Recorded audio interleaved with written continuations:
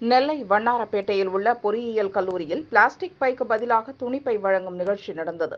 Collector Vishnu கலந்து கொண்டு மாணவ மாணவிகளுக்கு பத்தாயிரம் துணிப்பைகளை வழங்கினார்.